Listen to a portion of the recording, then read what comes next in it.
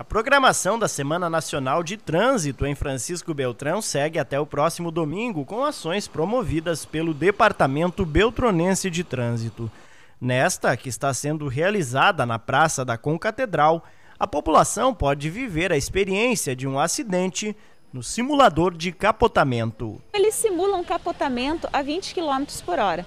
Então nós já tivemos atendimentos com alunos das escolas que vêm até o local para visitar, as pessoas que estão passando pelo calçadão para conhecer e também é um alerta né, à população para a utilização do cinto de segurança, da importância de se utilizar o cinto de segurança dentro do veículo. As atividades da Semana Nacional estão sendo realizadas em parceria com o Corpo de Bombeiros.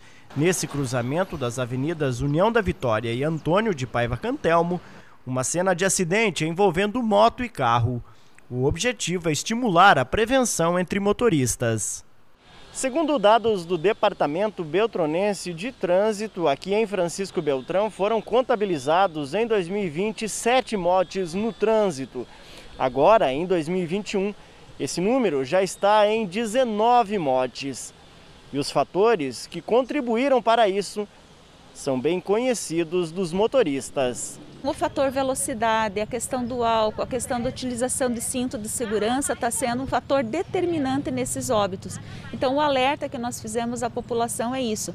Os números de acidentes no perímetro urbano diminuiu, mas a gravidade deles aumentou. O Alexandre participou da simulação e sentiu na prática o uso do cinto de segurança, mesmo em baixas velocidades.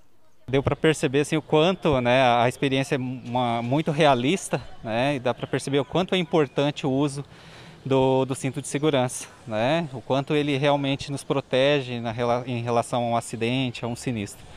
Andar sem cinto agora nunca? Não, não, jamais. Né? Já não andava agora, ainda com essa experiência, não ando mais.